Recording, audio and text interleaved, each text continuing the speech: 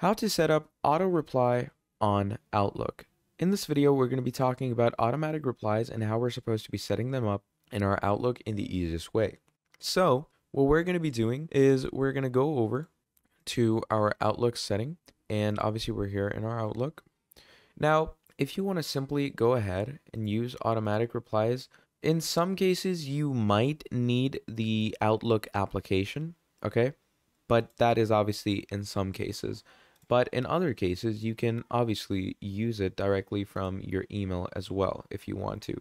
So, if you want to learn how you're supposed to, you know, mess with this in your very own email, let me talk to you about it. So what we're going to be doing is we're going to be creating a template of an automatic reply. And to create a template of an automatic reply, what we're going to be doing for that is we're going to come over here into our inbox navigation section. And here we're going to go straight over to our settings. We're going to click on compose and reply. And once we click on compose and reply, we are simply going to go ahead to reply all. We're going to turn that on.